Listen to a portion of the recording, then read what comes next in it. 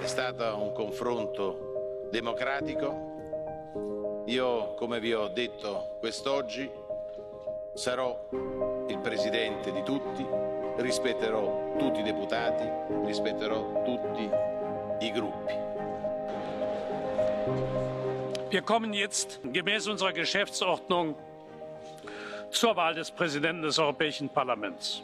Herr Abgeordneter Verhofstadt hat mir vor wenigen Minuten mitgeteilt, dass er seine bereits angekündigte Kandidatur zurückgezogen hat.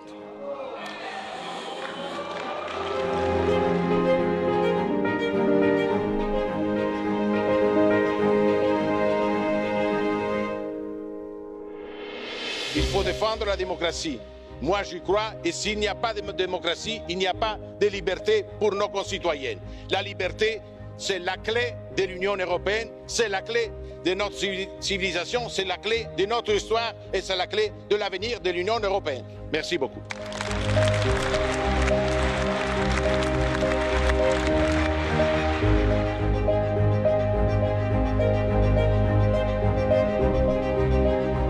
Da kein Kandidat und keine Kandidatin die absolute Mehrheit der abgegebenen Stimmen erhalten hat, kommen wir zu einem zweiten Wahlgang.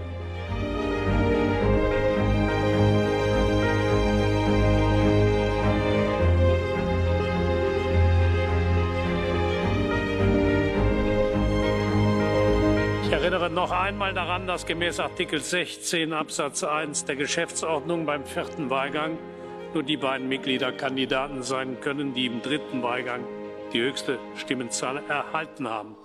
Das sind die Herren Pitella und Tajani.